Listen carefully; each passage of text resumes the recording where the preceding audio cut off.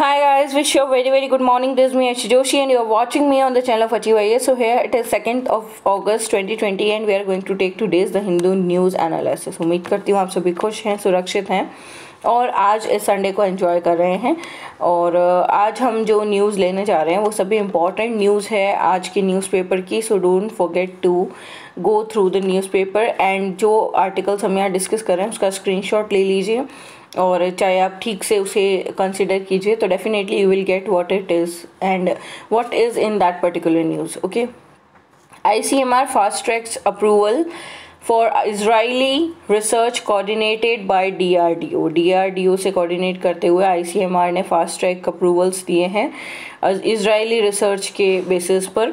And uh, defense wing can decide on study process which include transfer of data saliva samples from 5000 patients from four delhi government hospitals delhi के four government hospital से 5000 patients का जो saliva है वो sample के तौर पे लिया गया है उसे ट्रांसफ़र किया गया है प्रोसेस करने के लिए स्टडी करने के लिए ठीक है the government has pulled out all stops to help Israel conduct COVID-19 research on patients admitted to four Delhi hospital and including transfer to saliva samples and patients data to Israeli and Israel and the Hindu has learned. Basically, जितना कि the Hindu team को पता चला है उसके according Israel जो है Israel के लोग जो हैं इसराइल के लोगों को जो जो रिसर्च वहाँ के लोग कर रहे हैं या वहाँ की जो मेडिकल टीम है जो रिसर्च कर रही है, उसमें हेल्प करने के लिए इंडिया अपने पूरा अथक प्रयास कर रहा है, जिससे कि हम अपने इसराइल के साथ रिलेशन को भी मेंटेन कर सकें और इसराइल का जो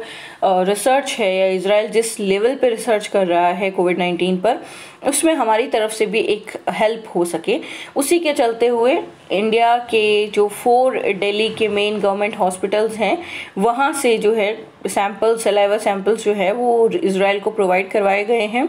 और उन पर्टिकुलर पेशेंट्स की रिपोर्ट्स भी प्रोवाइड करवाई गई है, जिससे कि इसराइल को हेल्प मिल सके स्टडी करने में रिसर्च करने में और उसकी मेडिसिन या उसकी वैक्सीन्स को निकालने में। ठीक है? So this article is based on this only किस लेवल पे मिनिस्ट्री उन्हें हेल्प कर रही है? इन सब चीज़ों के बारे में बताया गया है। Though the I C M R is the apex body of biomedical research and foreign aided research in the country the current trials will be controlled by DRDO DRDO से जो अभी जो ट्रायल्स चल रहे हैं, वो डीआरडीओ द्वारा control हो रहे हैं। डीआरडीओ जो है, उन्होंने फाइव थाउज़ेंड से अलावा ऑलरेडी इसराइली डिफेंस टीम के पास में भेजे हैं, उनको दिए हैं। एंड उन, इसके थ्रू जो है इसराइल में इसके ऊपर पूरा मेडिकल रिसर्च होगा। उसी के बेसिस पर ये पूरी जो वैक्सीन या उससे रिलेटेड जो भी इश्यूज़ हैं, उनको सॉर्ट आउट करने में हेल्प की जाएगी।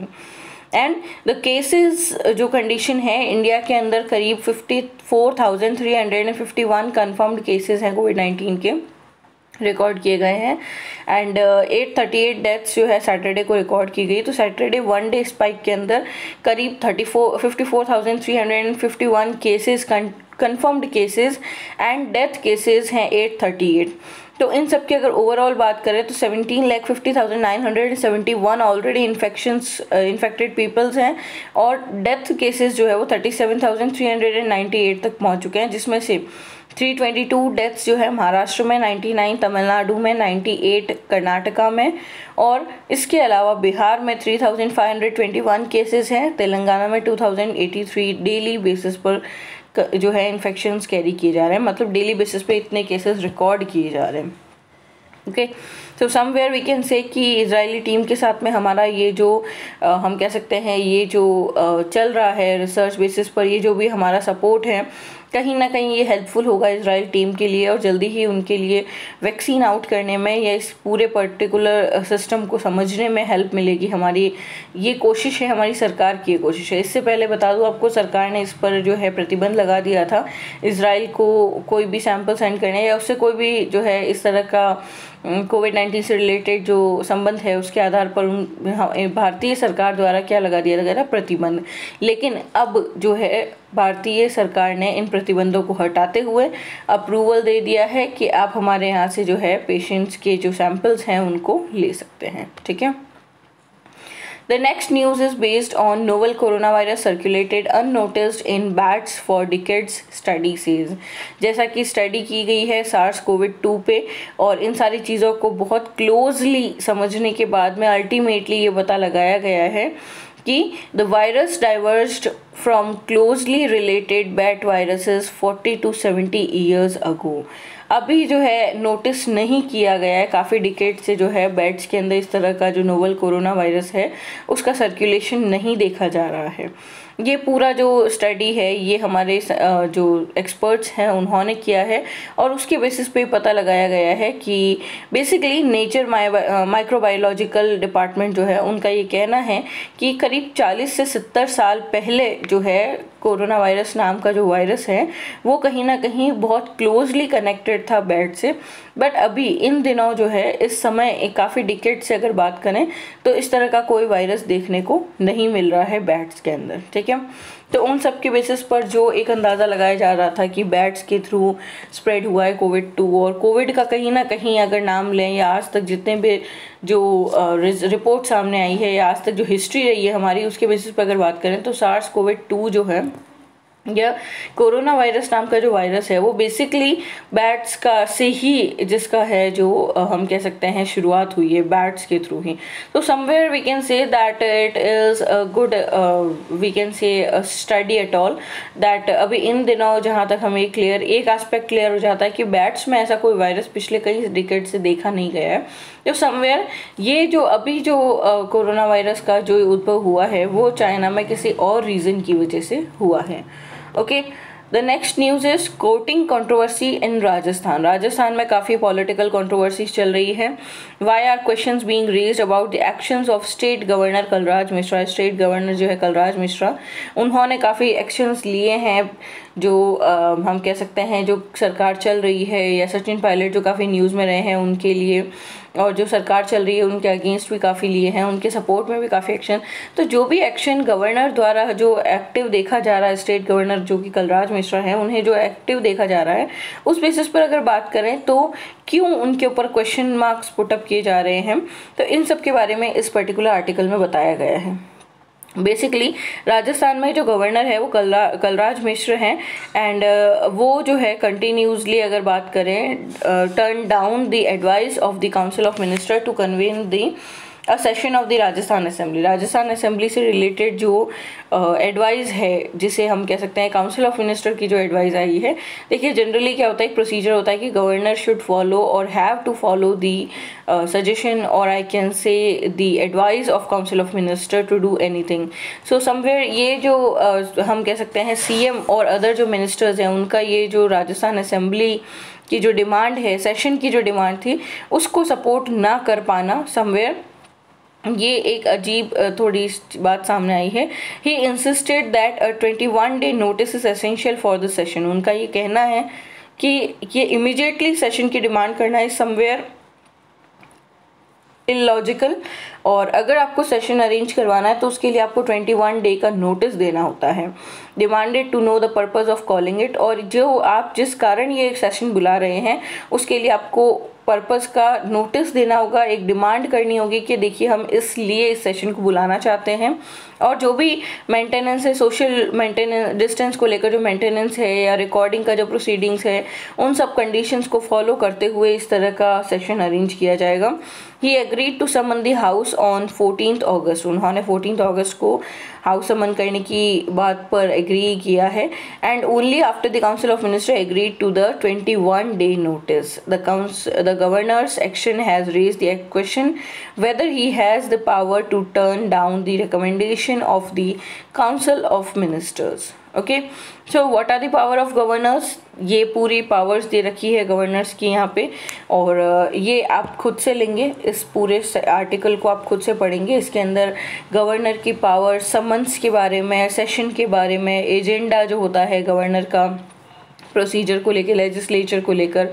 और उसके अलावा जो गवर्नर जो भी एडवाइस कर सकता है काउंसिल ऑफ़ मिनिस्टर को, या काउंसिल ऑफ़ मिनिस्टर की एडवाइस पर गवर्नर जो भी एक्शन लेता है, ये सारी चीज़ें। और इसके अलावा गवर्नर बाउंड है क्या लोगों के प्रति? मतलब लोग को, लोगों के प्रति लोक मत के हिसाब से अगर बात करें तो पीपल्स रिप्रेजेंटेटिव के तौर पे गवर्नर को क्या काम करना अनिवार्य है? या गवर्नर उसके लिए बाउंडेड है कि वो लोगों के आधार पर कार्य करें? तो ये सारी चीज़ें, ये सारे कंसेप्ट आपके इस आर्टिकल में क्लियर होंगे। बहुत इंपॉर्टेंट आर्टिकल है। मैं आपको फिर से बता देती हूँ, बहुत इंपॉर्टेंट आर्टिकल है। आपको इसे फॉलो करना चाहिए, क्योंकि आपका पॉलिटी का सेक्शन जो है पॉलिटी में गवर्नर पोर्शन जो है उसको फॉलो करते हुए, उसको रीड आउट करते हुए इस आर्टिकल को अगर आप पढ़ेंगे तो आपका करंट अफेयर सेक्शन जो है, वो भी क्लियर हो जाएगा पॉलिटिक्स से रिलेटेड राजस्थान से रिलेटेड कलराज मिश्र को। और उसके अलावा जो भी सेशंस होते हैं, उसके लिए गवर्नर के पास क्या पावर्स होती है गवर्नर्स का क्या टेन्योर होता है पावर्स क्या होती है असेंबली सेशंस को कौन समन कर सकता है, ये सारी चीज़ें आपके इस पर्टिकुलर आर्टिकल से क्लियर हो जाएगी। सिविल स्पेशली सिविल एक्सपीरियंस की अगर मैं बात करूँ तो don't ever forget to go through this article बहुत इंपॉर्टेंट आर्टिकल है। ब्रीफली मैंने आपको बताया है कि क्या चीज़ें होती है, समन करने का जो अधिकार होता है वो गवर्नर के पास में होता है। गवर्नर ने रिसेंटली राजस्थान गवर्नमेंट के आधार पर राजस्थान का जो इशू चल रहा है पॉलिटिकल इशू उसको देखते हुए सेशन की जो डिमांड की जा रही है, उसको देखते हुए क्या पर्टिकुलर स्टेटमेंट जो है गवर्नर द्वारा दिया जा रहा है, किन रेगुलेशंस को फॉलो किया जा रहा है, और ऐसी क्या कंट्रोवर्सीज़ हैं जो वहाँ देखने को मिल रही है राजस्थान में, ये सारी चीज़ें इस आर्टिकल में दी हुई है। Don't ever forget to go through this article मैं फिर बता रही हूँ, बहुत इंपॉर्टेंट आर्टिकल है, इसको ज़रूर पढ़िए आप ठीक से, जिससे कि आपका पॉलिटी का गवर्नर सेक्शन क्लियर हो जाएगा okay the next is will environment regulation be weaken ये भी देखिए, बहुत इंपॉर्टेंट आर्टिकल है। Environment regulations environment and science and science के पोर्शन एनवायरमेंट जो है एनवायरमेंटल स्टडीज़ जो है एनवायरमेंट एंड इकोलॉजी उसका जो है पोर्शन ये कवर करता है.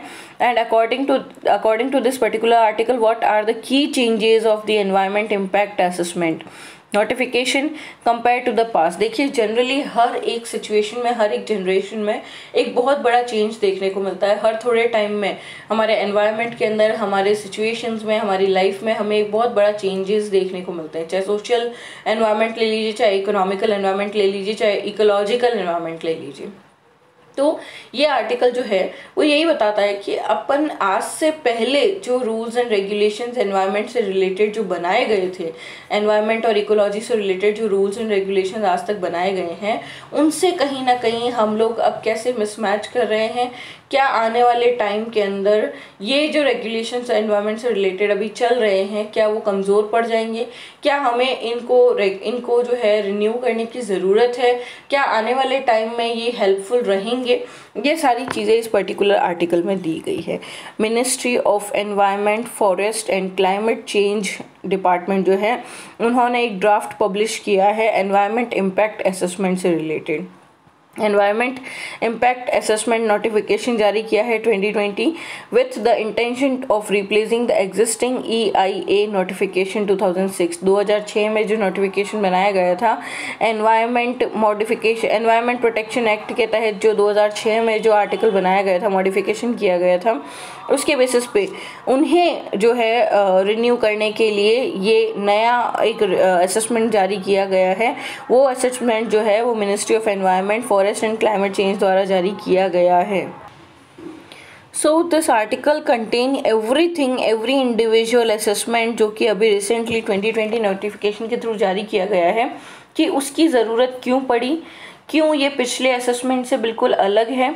क्या रूल्स रेगुलेशन क्या लिस्ट ए और बी लिस्टिंग जो की गई है एनवायरनमेंट की, उस बेसिस पर जो है असेसमेंट यहाँ पे उस बेसिस पर जो भी अप्रीहेंसिव स्टेटमेंट बनता है, उसको यहाँ पे डिस्कस किया गया है। इसके अलावा एप्रीहेंसिव या एप्रीहेंशंस क्या है, उसको यहाँ डिस्कस किया गया है। वॉयलेशन को से रिलेटेड जो भी पोस्ट फैक्टो अप्रूवल्स हैं, उनके बेसिस को या उस पर्टिकुलर न्यू रूल को यहाँ पर डिस्कस किया गया है। इसके अलावा कैसे ड्राफ्ट नोटिफिकेशन को कंपेयर किया जाता है ग्लोबल नॉर्म से, ये सारी चीज़ें यहाँ पे दी गई है। क्यों ज़रूरत पड़ी हमें नए असेसमेंट की? अब ये इंपॉर्टेंट बन जाता है। एनवायरनमेंट एंड इकोलॉजी का एक बहुत इंपॉर्टेंट क्वेश्चन बन जाता है कि recently environment impact assessment I A notification 2020 जारी किया गया है। किसे ओवरकम किया गया है? तो वेरी क्लियर है 2006 का जो ई आई ए नोटिफिकेशन जो है, उसे यहाँ पे रिप्लेस करने की कोशिश की गई है। किसने जारी किया है? Ministry of environment forest and climate change द्वारा जारी किया गया है। और क्यों जारी किया गया है? Because the government wants to incorporate modification made to the regulations to amendments in the interim period okay so ये सारी चीज़ें यहाँ पे दी गई है। There is apprehension that the exemption from I E I E and public consultation for listed B two category activities मैंने अभी आपको बताया ए बी कैटेगरीज में डिवाइड किया गया है। A one B one A two B two इस तरीके की कैटेगरीज में डिवाइड किया गया है। उसके बेसिस पे क्या सीरियस इम्पैक्ट्स एनवायरनमेंट पे देखने को मिल रहे हैं और उससे रिलेटेड क्या नए जो है, उस पर वर्क करने की क्राइटेरियाज पर या एस्पेक्ट्स पर वर्क करने की हमें ज़रूरत है, ये सारी चीज़ें इस पर्टिकुलर आर्टिकल में दी गई हैं। क्या एनवायरनमेंट रेगुलेशन कहीं ना कहीं कमज़ोर है? क्या ये कमज़ोर पड़ जाएगा आने वाले टाइम में? जिस तरीके की सिचुएशंस अभी देखने को मिल रही है और जैसा अमेंडमेंट या असेसमेंट अभी जारी किया गया है, उसको देखते हुए क्या लगता है कि ये असेसमेंट भी आने वाले टाइम में कमज़ोर पड़ जाएगा। तो वही सारी चीज़ों को यहाँ पे डिस्कस किया गया है। You should go for it because new assessment जारी किया गया है। एनवायरनमेंट इम्पैक्ट असेसमेंट 2020 इंपॉर्टेंट बन जाता है। एनवायरनमेंट और इकोलॉजी का पोर्शन कवर करता है ये। ठीक है? अब हम बात करेंगे subject of contempt of court की। ये भी इम्पोर्टेंट है। Contempt of court what is the rational for this provision do judicial institutions need protection at all बहुत इंपॉर्टेंट आर्टिकल है ये भी द स्टोरी क्या है इसके पीछे? Contempt of court as a concept that seeks to protect judicial institute judicial institutions को बचाने के लिए उनको जो मोटिवेटेड अटैक्स की या अनवारंटेड क्रिटिसिज्म से क्रिटिस बेसिकली हम कह सकते हैं क्रिटिसिज्म या जो पॉइंट आउट किया जाता है जुडिशियल एक्टिविटीज़ को, उन सब चीज़ों से बचाने के लिए लीगल लीगल मैकेनिज्म जो है, उसको जो है जो पनिश करने के लिए जो बनाया गया है, उसको कैसे जो है लोअर अथॉरिटी के बेसिस पर जो है पनिश किया जाए। जो लोग लोअर अथॉरिटी के बेसिस पर पनिश्ड होते हैं, उनके बारे में बात की गई है। और इन सब के आधार पर जो है वो इंडिया की एक न्यूज़ देखिए आजकल न्यूज़ चैनल्स आप देखेंगे ना most of the news cover करती है जुडिशल एक्टिविटीज़ को क्वेश्चन मार्क करती है, उसको पॉइंट आउट करती है। तो उन्हें बचाने की क्यों ज़रूरत है, वो यहाँ पे डिस्कस किया गया है। बेसिकली ये जो कॉन्सेप्ट है, बहुत सालों पुराना है, बहुत सेंचुरीज पुराना है। इंग्लैंड के अंदर एक कॉमन लॉ प्रैक्टिस के तहत ये judicial power of the king को लेकर जो है प्रोटेक्ट करने की बात की गई है। आजकल जो भी आर्टिकल आप देखेंगे, जो नया, जैसे कि CAA क्या है वो एक्ट सिटीजनशिप अमेंडमेंट एक्ट जो बनाया गया जारी किया गया है सरकार द्वारा स्थापित किया गया एक बहुत ही लीगल कोर्ट द्वारा स्थापित किया गया जुडिशियल सर्विसेज़ द्वारा स्थापित किया गया एक लीगल नोटिस है और लीगल एक्ट है। लेकिन लोग उसे भी अपोज कर रहे हैं पॉपुलेशन उसे भी अपोज कर रही है। क्या लोगों में इतना आ, हम कह सकते हैं इतना एग्रेसिवनेस सही है कि वो जुडिशियल एक्टिविटीज़ को अपोज करे? क्या जुडिशियल एक्टिविटीज़ में इतना पावर नहीं है कि वो अपने बेसिस पर कोई डिसीज़न ले सके? हर एक क्वेश्चन को, हर एक पॉइंट को जुडिशियल एक्टिविटी के बेसिस पर पॉइंट आउट किया जा रहा है क्वेश्चन मार्क खड़ा किया जा रहा है। तो उन सारे बेसिस पर यहाँ पे कंटेम्प्ट ऑफ़ कोर्ट बेसिकली कहाँ सम्मिलित किया जाता है? आर्टिकल 129 जो है कॉन्स्टिट्यूशन का conferred on it and article 215 देखिए आर्टिकल 215 और टू वन टू नाइन दोनों क्या है? आप मुझे कमेंट सेक्शन बताएँगे, क्योंकि आप मुझे ये बताएँगे कि आपने ये आर्टिकल पढ़ा है या नहीं। इसी के बेसिस पर मैं आपसे बात कर रही हूँ। कंटेम्प्ट ऑफ़ कोर्ट के लिए जो पनिशमेंट होता है, वो सिंपल इम्प्रिजनमेंट होता है या सिक्स मंथ्स की जेल होती है या फिर एक फ़ाइन होता है दो हज़ार तक का। तो क्या ये सफिशिएंट है? कंटेम्प्ट ऑफ़ कोर्ट क्या है? क्या ये फेयर है? कंटेम्प्ट ऑफ़ कोर्ट जो है, वो क्या है? किस लेवल पे काम करता है? ये सारी चीज़ें इस आर्टिकल में दी गई हैं। Fair and accurate reporting of judicial proceedings will not amount to contempt of court judicial proceedings की जो रिपोर्ट होती है, वो एक्यूरेट और फेयर हो तो उस बेसिस पर कोई कंटेम्प्ट ऑफ़ कोर्ट का अमाउंट पे नहीं किया जाता है या कंटेम्प्ट ऑफ़ कोर्ट जो है वो नहीं फ़ाइल किया जाता है।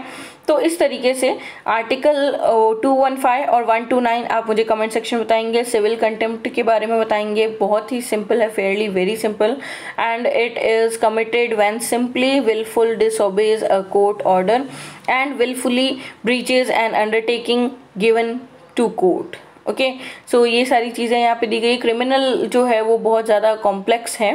लेकिन अगर बात करें सिविल कंटेम्प्ट की तो वो थोड़ा सिंपल है है ना? तो सिविल और क्रिमिनल कंटेम्प्ट में क्या फ़र्क है? 129 आर्टिकल क्या है? और 215 आर्टिकल क्या है? ये आप मुझसे कमेंट सेक्शन में डिस्कस करेंगे। ठीक है? It is all about it आप इसे स्टडी करेंगे। इसके अलावा नेक्स्ट जो है, बहुत इंपॉर्टेंट हो जाता है education and N E P देखिए, आज जो भी आर्टिकल हम यहाँ डिस्कस कर रहे हैं, कहीं ना कहीं आपका बहुत मेजर पोर्शन कवर करता है। जैसे कि मैंने कोर्ट ऑफ़ कंटेम्प्ट की बात बताई आपको। कंटेम्प्ट ऑफ़ कोर्ट सॉरी ये जो है, आपका पॉलिटी सेक्शन कवर करता है और बहुत इंपॉर्टेंट आर्टिकल है आज के डेट का। उसके अलावा एनवायरमेंटल इकोलॉजी का टॉपिक है। एनवायरमेंट रेगुलेशन एक्ट असेसमेंट जो जारी किया गया है एनवायरमेंटल इम्पैक्ट असेसमेंट वो क्या है, किसको ओवरकम किया है, ये सारी चीज़ें इंपॉर्टेंट है, किस पर बेस्ड है और क्या क्या इसके अंदर एडिशंस हैं, क्या बी बी टू क्या है बी वन क्या है ए वन ए टू क्या है, ये सारी चीज़ें इस आर्टिकल में डिस्कस की गई है, ठीक है? इसके अलावा कंट्रोवर्सी चल रही है राजस्थान में, किस पर रिलेटेड है? गवर्नर की जो पावर्स होती है गवर्नर का जो इम्पैक्ट होता है गवर्नर के जो अथॉरिटीज़ हैं या उसके उसके हाथ में जो पावर्स हैं, या उसे किन किन मामलों में किन किन मुद्दों के तहत अधिकार क्षेत्र प्रोवाइड करवाए गए हैं, या गवर्नर के गवर्नर जो है, वो किस किस तरीके के डिसीजंस ले सकता है, समन कौन जारी कर सकता है, ये सारी चीज़ें इस आर्टिकल में दी गई है तो समवेयर ये भी इंपॉर्टेंट बन जाता है। आपके लिए, है ना? और एक जो अभी पूरा स्टडी के बेसिस पर जो बात की गई है, कोरोना वायरस अब तक ये माना जा रहा था नोवल कोरोना वायरस बैट्स के द्वारा इजाद होने वाला एक पर्टिकुलर वायरस है। लेकिन आज जो है स्टडीज़ के बेसिस पर ये आर्टिकल यहाँ पर आपके द हिंदू में कवर किया गया है कि ये पिछले काफ़ी डिकेट से देखा जा रहा है कि ये जो है बैट्स के अंदर नहीं पाया गया है वायरस है ना? तो और इसराइल और इंडिया के बीच में जो अभी अप्रूवल्स हुए हैं, जो रिलेशंस मेंटेन किए जा रहे हैं कोविड नाइन्टीन के लिए वैक्सीन के लिए जो वर्क चल रहा है, या इसराइल के अंदर जो हाई लेवल जो कमिटी जो वर्क कर रही है ऑलरेडी इसके अंदर, उसके बेसिस पर जो है इंडिया ने सपोर्ट करने को हेल्प कर दिया है। सॉरी हेल्प करने को जो है सपोर्ट करने को या हेल्प करने को जो है हाँ भर दी है अप्रूव कर दिया है। तो ये पूरा आर्टिकल उस पर बेस्ड है, ठीक है? तो आज की डेट के जितने भी आर्टिकल अभी तक हमने डिस्कस किए हैं, वो बहुत इंपॉर्टेंट जाता है। कंटेम्प्ट ऑफ़ कोर्ट तो सबसे इंपॉर्टेंट आर्टिकल है, ठीक है? इसके बाद में अब जो आर्टिकल आया, वो भी बहुत इंपॉर्टेंट है। नई एजुकेशन पॉलिसी लागू की गई है। क्या है एजुकेशन पॉलिसी? चौंतीस साल के बाद में अल्टीमेटली जब इस नई पॉलिसी को लागू किया गया है, क्या मेजर चेंजेस किए गए हैं? सबसे बड़ा चेंज तो यही नज़र आ रहा है कि टेन प्लस टू की जो एक से जो प्रोसीजर चल रहा था, उसको हटा करके उसका जो स्ट्रक्चर है, उसको चेंज कर दिया गया है five plus three plus three plus four में, है ना? तो ये सबसे बड़ा जो है यहाँ चेंज नज़र आ रहा है। पहली बार इस तरह का कोई अमेंडमेंट यहाँ पे देखने को मिला है, ठीक है? तो ये सारी चीज़ें यहाँ पर दी गई है। इसके अलावा क्या क्या चीज़ें ऐड की गई है? एजुकेशनल पॉलिसी पर हम एक नया अलग से वर्क कर रहे हैं। नया वीडियो जारी कर किया जाएगा। आज या कल के अंदर आपको वो अवेलेबल हो जाएगा। न्यू एजुकेशन पॉलिसी पर बेस्ड वीडियो है वो। उसे स्टडी किया जा रहा है और उस पर जितना हो सकता है पॉसिबल डेटा कलेक्ट करके और लास्ट पॉलिसी से इस पॉलिसी को कंपेयर करते हुए कंपेरेटिकल स्टडीज़ जो है आपको प्रोवाइड की जाएगी। So don't forget to watch that particular video okay तो ये सारी चीज़ें आप खुद से इसको लेंगे और आप स्टडी करेंगे बिकॉज़ और वैसे हमारे उस पर्टिकुलर वीडियो से आपका सारे कंसेप्ट नेशनल एजुकेशनल पॉलिसी से रिलेटेड जो भी कंसेप्ट है, वो वहाँ पे क्लियर हो जाएँगे। अब हम बात करें तीन स्टेट्स ने धोले कंजर्वेशन के अंदर जो है टॉप किया है। धोले कंजर्वेशन धोले एक बहुत ही हम कह सकते हैं कि एंडेंजर्ड पोजीशन में आ गया है। एंडेंजर्ड प्रजाति है ये। और उसके तहत, उसके कंजर्वेशन के लिए जो वर्क कर रहे हैं, उसके अंदर जो तीन महत्वपूर्ण क्षेत्र हैं, वो है कर्नाटका, महाराष्ट्र और मध्य प्रदेश। ये तीन ऐसी जगह है जो कि वर्क कर रही है धोले कंजर्वेशन के अंदर। इन्होंने हाई रैंक कैरी किया है। ठीक है? तो अब ये क्यों इंपॉर्टेंट हो जाता है? आपको लगेगा कि ये क्यों इंपॉर्टेंट है? तो मैं आपको बता दूँ कि धोले कंजर्वेशन पर वर्क किया गया ऑलरेडी जो वाइल्ड लाइफ सेंचुरीज पर वर्क करते हैं, वो है यूनिवर्सिटी ऑफ़ फ्लोरिडा और उसने अभी रिसेंट जो सर्वे किया है, उसके बेसिस पर पाया गया है कि इंडिया के अंदर जो कुछ प्रजाति, जो कि पूरी तरीके से एंडेंजर्ड कंडीशन में जा चुकी है, वो हो चुकी है धोले। एक, अपने आप में एक, एकमात्र प्रजाति है। उसका जो साइंटिफिक नेम है, वो है क्वान एल्पिनस और बहुत ही आ, हम कह सकते हैं कि बहुत कम मात्रा में उपलब्ध है हमारे पास में अभी उनके कंजर्वेशन के लिए जो स्टेट्स वर्क कर रहे हैं और जो टॉप किया है उनके बारे में यहाँ डिस्कस किया गया है। और किस तरह का स्ट्रैटेजीज को फॉलो किया जा रहा है? ये स्ट्रैटेजिक रोड मैप जो है, कौन फॉलो कर रहा है इनको कंजर्व करने के लिए और उस पर कैसे कार्य किया जा रहा है? ये तीनों स्टेट्स कैसे कार्य कर रहे हैं? वो इस आर्टिकल में बताया गया है। एंड द धोले या इन इंडिया वॉज़ पब्लिश्ड अभी आपको बता दूँ कि एक पेपर भी पब्लिश किया गया है strategic road map for conservation conserving the endangered dhole okay in India तो ये जो एक पर्टिकुलर पेज है, ये भी जारी किया गया है किसके लिए? ताकि हम इसके मैमल रिव्यू के बेसिस पर ये पेज जारी किया गया है और धोले के बारे में उसके अंदर डिस्कस किया गया है। ठीक है? तो जो एंडेंजर्ड प्रजातियाँ हैं, उनको कंजर्व करने के लिए हर एक कंट्री हर एक कंट्री का, हर एक स्टेट हर एक पोजीशन हर एक सिटी अपने लेवल पर कार्य करते हैं, जिससे कि उन उस क्षेत्र में पर्टिकुलर क्षेत्र में उस प्रजाति को बचाया जा सके। और इसी के क्षेत्र में भारत ने आज से करीब 10-12 साल पहले टाइगर कंजर्वेशन पर बल दिया था, और इसी के, उसी का नतीजा है कि आज हम टाइगर कंजर्वेशन में काफ़ी अच्छी मात्रा में हमारे पास टाइगर्स उपलब्ध हैं, और हम इस पर वर्क कर रहे हैं, और बहुत अच्छे से हमारी गवर्नमेंट और लोग मिलकर वर्क कर रहे हैं। उसी सीरीज़ के अंदर धोले जो है, वो अपने आप में एक बहुत ही एंडेंजर्ड प्रजाति है, जिसे कि कंजर्व करने के लिए सारे स्टेट्स अपने लेवल पे प्रयास कर रहे थे, जहाँ पर भी ये प्रजाति पाई जाती है। और मैं आपको बता दूँ, उसमें जिसने टॉप किया है, वो है Karnataka. Second one is Maharashtra and third one is Madhya Pradesh. So this is an achievement for us कि हम इस पर प्रयास कर रहे हैं, हम प्रजातियों को बचाने पर कार्य कर रहे हैं। ये हमारे लिए एक बहुत बड़ा हम कह सकते हैं अचीवमेंट है। ठीक है? आज हमने जो डिस्कस किया है, बहुत इंपॉर्टेंट आर्टिकल्स हैं, मैं फिर आपको बता रही हूँ एनवायरमेंट इकोलॉजी उसके अलावा नोवेल कोरोना वायरस और उसके अलावा पॉलिटी सेक्शन मैक्सिमम लेवल पे आज का न्यूज़पेपर कवर करता है।